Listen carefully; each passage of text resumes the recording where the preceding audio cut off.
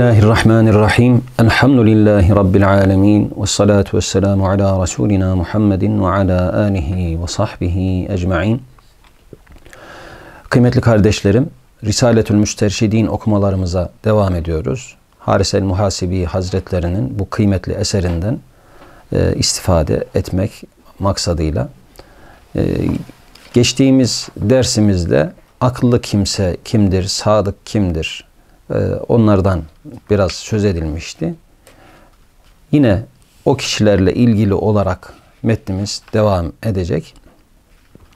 Metnin okuduğumuz bölümünde o kimselerin e, cehaletten sonra ilmi, e, fakirlikten sonra zenginliği, böyle yaban halinden sonra Cenab-ı Hakk'a ünsiyeti, uzaklıktan sonra yakınlığı elde ettiklerini bize bildirmişti Harisen Muhasibi Hazretleri ve onların temel halinin murakabe, şiarlarının takva olduğunu bildirmişti.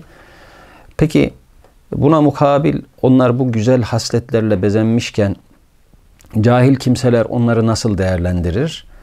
Ee, onları nasıl görür? Biraz da bunlardan bahsediyor. Diyor ki Harisel Muhasibi Hazretleri yahsebuhul cahilu sımmiten ayiyya cahil bir kimse o bir önceki dersimizde anlattığımız güzel insanları böyle söz söylemekten aciz, meramını ifade edemeyen, dilsiz kimse zanneder. Halbuki ve hikmetuhu asmatethu halbuki onu hikmeti susturmuştur. Zaten az konuşmak bu güzel insanların temel hasletidir. Onları konuşmuyor görünce bazı cahil kimseler yani bu meramını ifade eden bile aciz, bir şey bilmeyen kimse gibi addeder. Halbuki o hikmetinden susmaktadır. Yahsebuhul ahmaku mihzaran. Ahmak bir kimse de onu gereksiz yere konuşuyor zanneder. Sustuğunda Cahil der ki ya bu bir şey bilmiyor. E, konuştuğunda ahmak der ki ya bu boş yere konuşuyor. Halbuki وَالنَّصِيحَةُ لِلّٰهِ اَنْتَقَتْهُ Allah için nasihat etme e, gayesi onu konuşturmaktadır. Eğer sustuğunda Allah için susuyor, konuştuğunda da Allah için konuşuyorsa o zaman onda Allah'ın izniyle bereket hasıl olacaktır. İşte Allah dostlarının da sadıklarında, akıllı kimselerin, ilim ehlinin de temel vasfı bu. Her ne kadar cahiller, ahmaklar yanlış değerlendirse de.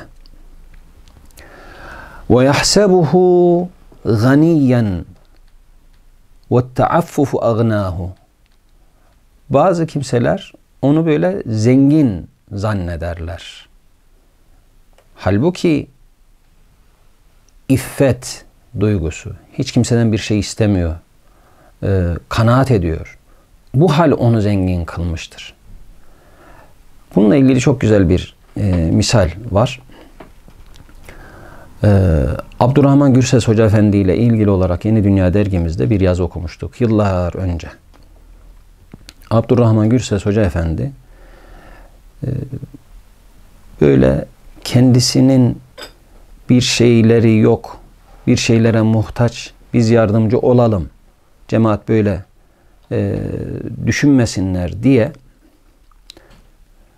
camiye vazifeye geleceği zaman belli bir noktaya kadar otobüsle gelip o noktadan sonra taksiye binerek camisine gelirmiş ki ya hoca efendinin de demek ki varlıklı bir şeye ihtiyacı yok diye görsünler cemaat kendisine böyle olur olmaz tekliflerde bulunmasınlar diye hareket edermiş.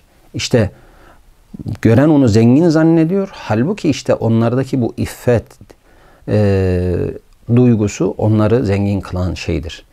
Ve yahsebuhu fakiran bazı kimseler de onları fakir, yoksul zannederler. Ve tevadu ednahu o tevazu duygusu, mütevazı halleri onları böyle yere sermiştir. O duyguları onları e, engin hale getirmiştir. Allah için tevazu göstereni, kendisini yere engine sereni Cenab-ı Allah dağın zirvelerine çıkarıyor. La yetearradu lima la ya'nihi. Böyle güzel insanlar kendilerini ilgilendirmeyen hususlara dalmazlar, girişmezler. Daha önce de anlatmışımdır. Bu hususta e, Nasrettin hocamızın fıkrası var. Kişinin kendisini ilgilendirmeyen hususlara meyletmemesine dair hepimizin bildiği bir fıkradır. Hani e, adam birisi koştura koştura gelmiş Nasrettin hocamıza. Hocam hocam az önce koca bir tepsi baklava gidiyordu. Hoca demiş ki bana ne demiş. Ama efendim sizin eve gidiyordu. Öyleyse sana ne demiş. Şimdi hakikaten malayani'nin gereksiz şeylerle ilgilenmemenin e, önemini gösteren çok latif bir fıkradır. E, mümin kendisini ilgilendirmeyen hususlara meyletmeyecek. Efendimiz Aleyhisselatü Vesselam'ın hadis-i şerifini hatırlayalım. Min husni islamil mer'i terkuhu ma la ya'nihi. Kişinin Müslümanlığının kalitesini gösterir. Ney? Kendisini ilgilendirmeyen hususlara girişmemesi. Onları terk etmesi. وَلَا يَتَكَلَّفُ فَوْقَ مَا يَكْف۪يهِ Kendisine kifayet eden bir şey olduğunda onunla kanaat eder, üstü için zorlamaz. Kendisine külfete sokacak hususlara girişmez.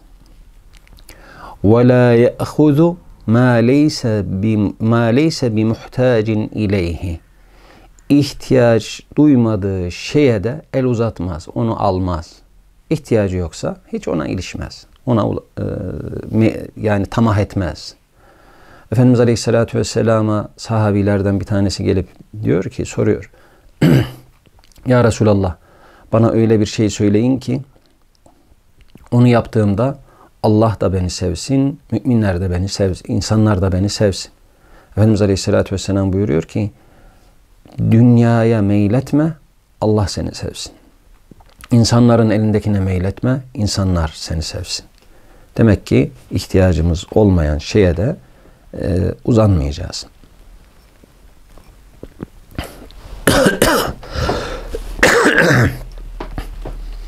وَلَا يَدَعُ مَا وُكِّلَ بِحِفْظِهِ korumak üzere hıfz ile görevlendirildiği e, kendisine verilen husus şeyleri de terk etmez. Kendisine verilen emaneti bir hakkın gözetir, onları muhafaza eder, onlarda bir gevşeklik göstermez. اَنَّاسُ minhu fi rahatin. İnsanlar ondan herhangi bir endişe duymazlar. O mu? O zaman aklım rahat. O ondan zarar gelmez. Onda bir sıkıntı yok. Yani insanlar ondan e, bir güven içerisinde, rahat içerisindedirler ona karşı. Huve min nefsihi fi ta'ab. Halbuki o kendi içinde bir böyle gayret, çaba içerisindedir. Kendisinden hoşnut değildir. İnsanlar ondan hoşnut olsa bile o kendinden hoşnut değildir. Niye? Çünkü daha da ötesini arzulamaktadır. Çünkü kemalin bir sınırı yoktur o kemalin sınırı olmayan e, sahasına doğru geliştikçe gelişmek ister. قَدْ اَمَاتَ بِالْوَرَعِ حِرْصَهُ Vera ile hırsını öldürmüştür. Vera nedir? Takvanın bir üst derecesi diye anlatırlar bize. Harama düşerim korkusu, korkusuyla helalde bile riayetkar olmaktır. İşte bu duygu ondaki hırsı, dünyaya olan tamahkarlığı öldürmüş, yok etmiştir. Ve haseme bit tuqa tama'ahu. Takva ile de tamahın kökünü kurutmuştur. Ve atfa'a bi nuril ilmi şehevatihi. İlmin nuruyla da şehevi arzularının ateşini söndürmüştür. İlim bir nur ki şehevi arzuların narını, ateşini söndürüyor. İşte o ilim nuruyla da şehevi arzularının e, ateşini söndürür. Şimdi burada bize bir öğüt veriyor. Ee, Haris Muhasibi Hazretleri. O güzel insanı anlattı. Onun vasıflarını anlattı. Ve bize diyor ki feha keda fekun. Sen de işte böyle ol. Sen de işte tam böyle ol. Denir ki feteşebbehu tekunu mislehum fe innet teşebbuha bil kirami felahu. Onlar gibi olmasan da onlar gibi olmaya çalış. Onlara benzeme gayreti içerisinde ol. Çünkü onlara benzeme gayreti çabası bile kurtuluştur. Biz kendimize şimdilerde ne diyorlar? Rol model, üsve-i hasene. Efendimiz Aleyhisselatü Vesselam bizim için numune-i imtisal, en güzel örnek. Bizim için uyulacak model kimse. İşte gaye insan dedi e, kulakları çınlasın Mehmet Sünmeli hocamız. Efendimiz Aleyhisselatü Vesselam'ı anlatırken gaye insan. Yani insanlıkta bizim için, müminlikte bizim için en güzel örnek Efendimiz Aleyhisselatü Vesselam ve onun varisi olan ulema, salihler, veliler. İşte bunlar gibi ol. وَلِمِثْلِ هَٰؤُلَٰئِ فَاسْحَبْ Böyle kimselerin sohbetinde bulun. Onların tabiri caizse sahabisi ol. Yani nasıl ki Efendimiz Aleyhisselatü Vesselam'ın sahabisi vardı. Tamam özel isim olarak onlara sahabi denir. Ee, Efendimiz Aleyhisselatü Vesselam'ın yolunu devam ettiren kimseler artık o nübüvvet pınarından aldıkları nasip, feyiz ölçüsünde, o ilimden aldıkları pay ölçüsünde nübüvvetten pay almışlardır, mirastan nasip almışlardır. Her ne kadar ıstılahi olarak bu Allah dostlarının meclisinde bulunan kimselere sahabi denmese de onlar gibi bir paye elde edilmiş olur Allah'ın izniyle. وَلِآثَارِهِمْ فَاتْبَعْ Onların izlerini, yollarını takip et. Onlara tabi ol. Ve bi ahlakihim feteeddeb. Onların ahlakıyla edeplen. Fehaula el kenzul me'mun. İşte bunlar kenzi me'mundur. Ne demek kenzi me'mun? Arapçada kenzi me'mun mukabil olarak bir de kenzi medfun tabiri var. Kenzi medfun gömülmüş gömü demek. Genelde hani böyle gömü olarak e, elde edilen hazinenin böyle bir e, şanssızlığı, işte ne bileyim felaketi, fitnesi söz konusu olduğu için o yerilir. Ama kenzi me'mun güvenli hazine. Atadan, babadan kalan böyle miras gibi hiçbir endişenin, korkusunun olmadığı değerli hazine manasında. İşte bu kimseler çok değerli hazinelerdir. Bâi'uhum bid dünya mağbunun.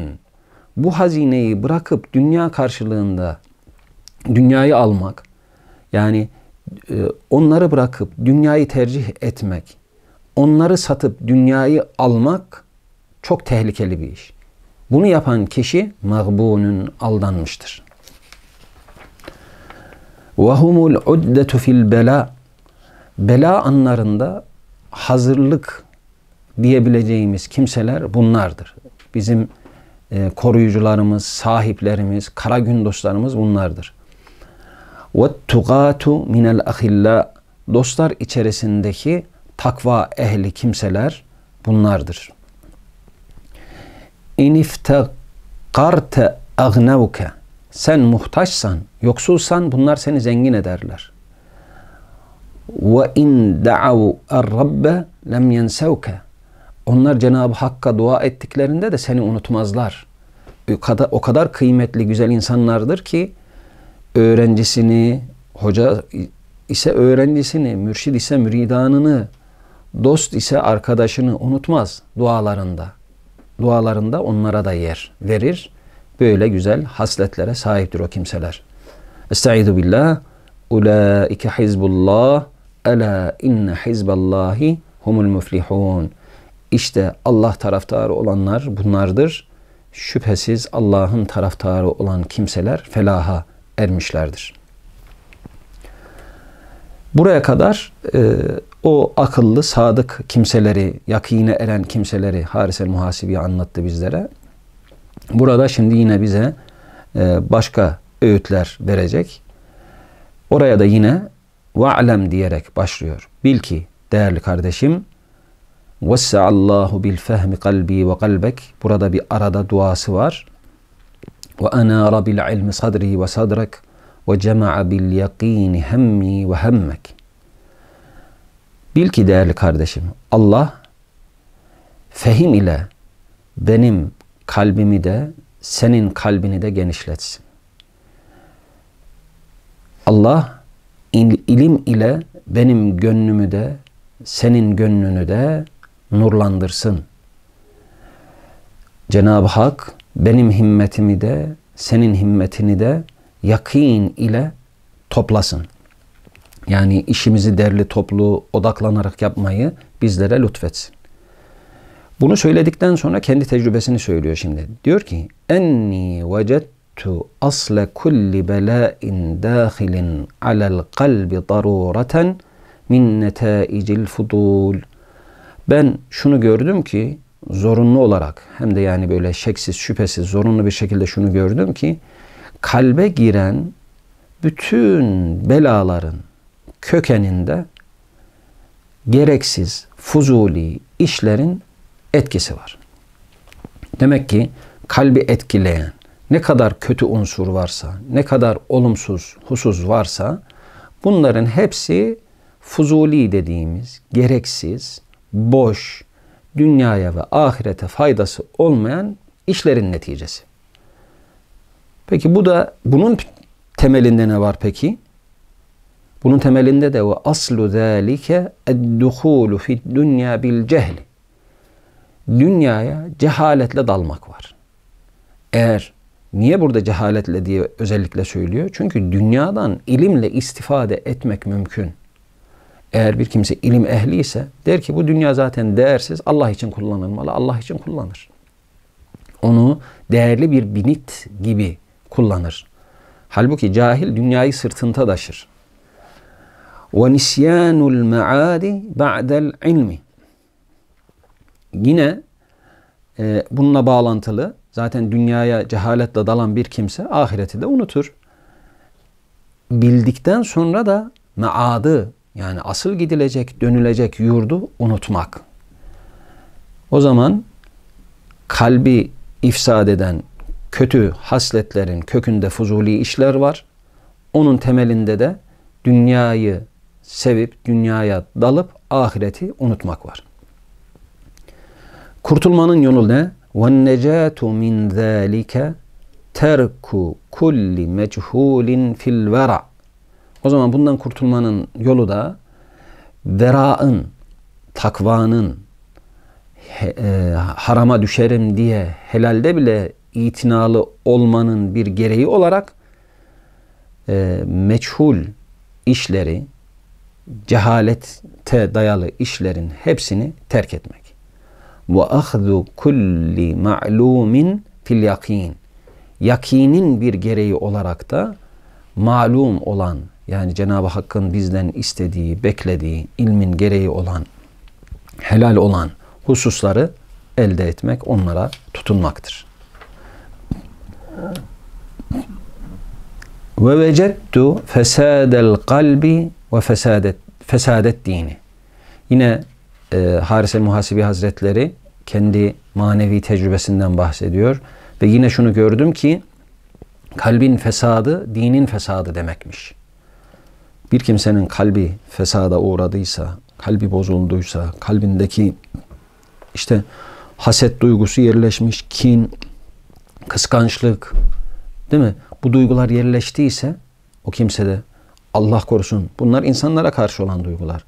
Ya peki haya duygusu yırtıl, ortadan kalkmışsa, Mevlamızdan utanma duygusu ar damarı çatlamışsa, imanına zede getirecek inançlara meyletmeye başlamışsa, e bütün bu kalp ne oluyor o zaman? Bozuluyor. Kalbin bozulması ne demek? O da dinin bozulması demektir. Ela yura li kavli Resulillahi sallallahu aleyhi ve sellem Nitekim Efendimiz Aleyhisselatü Vesselam'ın şu hadis-i şerifine bir bakılsa ya Ela ve inne fil cesedi muzgaten izâ salahat salahal cesedu kulluh ve izâ fesedet fesedel cesedu kulluh ela ve hiyel kalb Dikkat buyurunuz. Vücutta, cesette bir et parçası vardır. O et parçası düzgün olduğunda, salih olduğunda bütün bir ceset salih olur. O et parçası bozulduğunda, fasit olduğunda bütün vücut bozulur. Dikkat buyurulsun. O et parçası kalptir buyuruyor Efendimiz Aleyhisselatü Vesselam. Buradaki e, ceset kelimesine Harisen Muhasibi şu manayı veriyor ma'nel cesedi hâhuna bu hadis-i şerifteki ceset yani bizim beden diye çevirdiğimiz, vücut diye çevirdiğimiz e, kelimenin manası eddinu din demektir. Çünkü li'enne biddini salahal cevarihi ve fesadaha. Çünkü azaların e, salih olması veyahut da bozuk olması din ile olur. Eğer bir kimse Allah muhafaza dinden bir haber ise eli harama gider. Bakışın haramlığından bir haber ise bakış harama gider.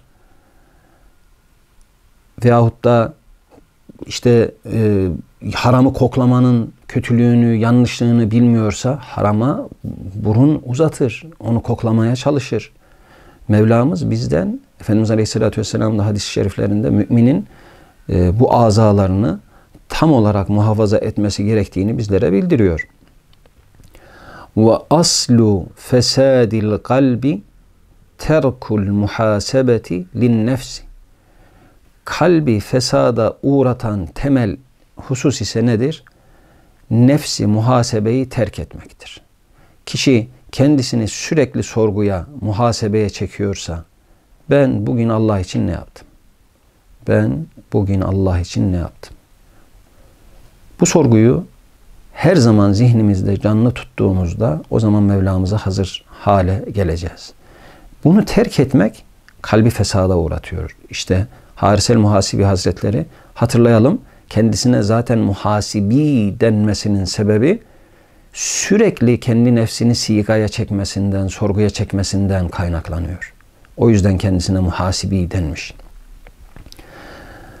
Vel igtiraru bi tulil emeli. Başka ne? Kalbi fesada uğratan sebepler. Tuli emel ile aldanmak. Yani bu dünyada çok yaşayacaksın. Daha neler göreceksin neler. Öyle değil ki işte. Yani kulaklar e, bizim bir hocamız vardı İmam Hatip'te. Derdi ki evladım ölüm kör deve gibi. Kimi tepeleyip devireceği belli olmaz. Bu dünya hayatı gelip geçici. Tuğli emel sahibi olan nicelerini yedi, bitirdi, götürdü. Bu dünyaya gelip de kalan konup da göçmeyen yok. O yüzden müminin vasfı Burası gelip geçici bir yurt. O zaman ben bu aldanma yurduna aldanmayacağım. فَاِذَا أَرَدْتَ صَلَاحَ قَلْبِكَ فَقِفْ مَعَ الْاِرَادَةِ وَعِنْدَ الْخَوَاطِرِ Eğer kalbini ıslah etmek istiyorsan, kalbinin salih olmasını istiyorsan, iradeni tanı gönlüne böyle bir niyet mi düştü? Bir ilgi mi düştü? Bir şeyi yapmak arzusu mu geldi? O zaman onu bir tanı. Orada bir dur. Duraksa. Bir bak. Allah'ın muradına uygun mu? Değil mi? Her hatırına gelen şeyde de bunu yap. İradende de bunu yap. Hatırına gelen her işte de bunu yap. O zaten muhasebenin en ileri boyutu. Yapıp ettiklerini sorguya çekmiyor yapma isteklerini, yapma arzularını bile sigaya çekiyor. Kana lillah ve da ma kana li gayrihi. O iradeyi tanıdın, hatırına gelen işlere baktın. O zaman onların içerisinden huz ma kana lillah. Allah için olanı al. Ve da ma kana li gayrihi. Allah için değilse onu bırak, terk et. وَاسْتَعِنْ عَلَى قِصَرِ الْأَمَلِ بِدَوَامِ ذِكْرِ الْمَوْتِ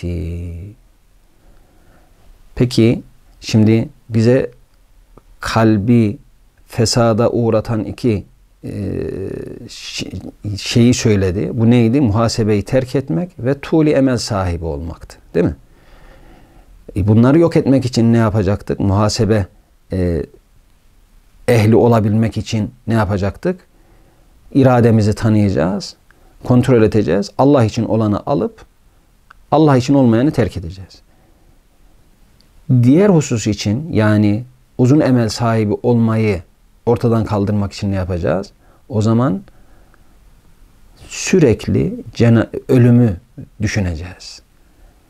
Tuli emeli ortadan kaldırmanın yolu da ölümü tefekkür etmektir.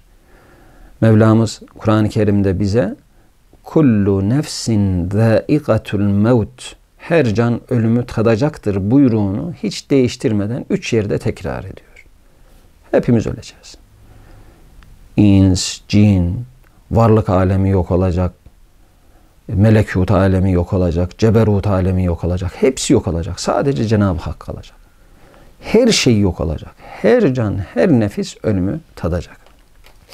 Ve biz bu ölümü düşündüğümüzde buranın gelip geçici bir yurt, asıl yaşanacak ebedi hayatın ahiret olduğunu fehmettiğimizde o zaman zaten uzun emel sahibi olmak diye bir şey mümkün olmayacaktır. Mevlamız bizlere bu hasletleri lütfetsin. Harisel Muhasibi Hazretleri burada şimdi e, fuzuli işlerden, gereksiz işlerden bahsetmişti. Burada tam da o e, konuları tek tek ele alacak. İşte gözün fuzuli ha, e, hareketlerinden, ne gibi mahzurlar doğurduğundan, dilin, gıdanın, işte giyimin, meskenin fuzuli olanlarından bahsedecek. Bunu inşallah bir sonraki dersimize bırakalım. Çünkü e, yeni bir konu başlamış oluyor.